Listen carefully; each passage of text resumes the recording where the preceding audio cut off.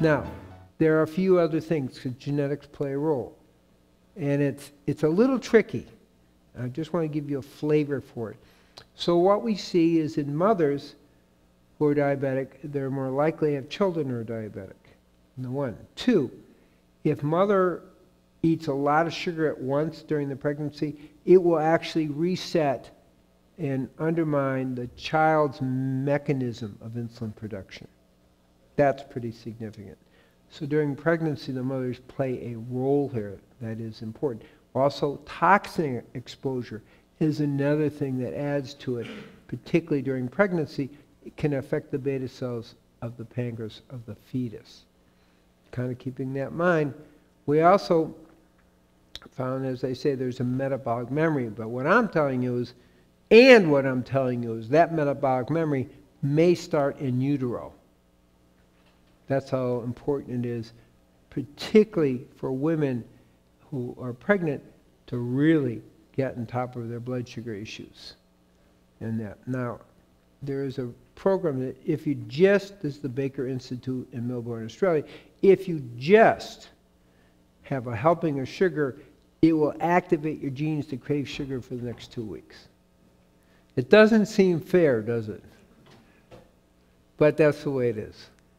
So, really staying away from that is important.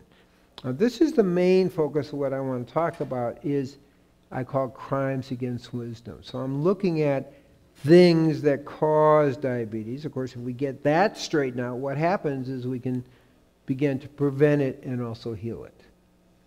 So I've mentioned sugar is a big player. And there's no question, 20 years after white flour, white sugar, and junk food get into a, a society, there's an outbreak of diabetes. That is what happens. So now, most people think fructose is an exception. I will be talking about it. Fructose is not an exception.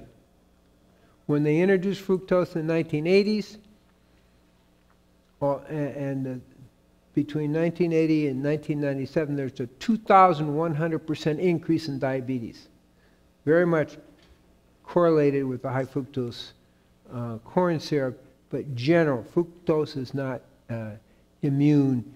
Fructose does a lot of things which I'm going to talk about, but it dysregulates the leptin insulin signaling and uh, doesn't turn, doesn't communicate to ghrelin, which is a hormone, says, okay, you're full, stop eating already. Doesn't do that.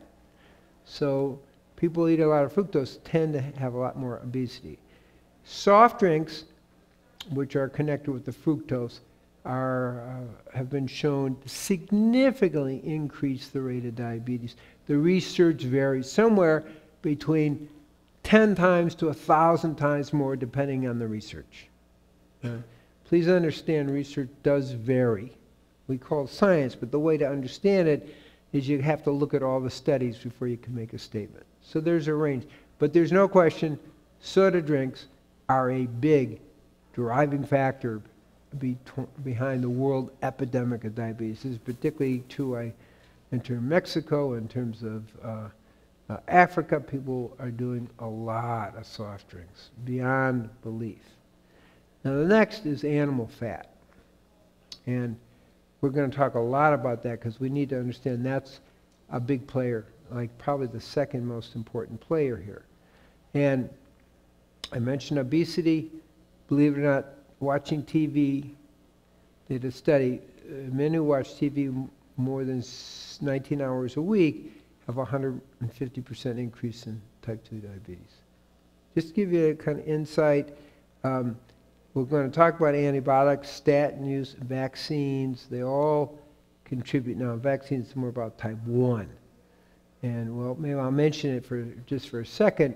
Studies in New Zealand and Finland show that when kids are uh, given the vaccines, their rates of diabetes, type 1 diabetes, increases about 60%, roughly speaking. Some a little less, some are up to 147%. And that's uh, the research was doing with the MMR and also the Hep uh, B vaccine, which you don't really need anyway, but that's not the point.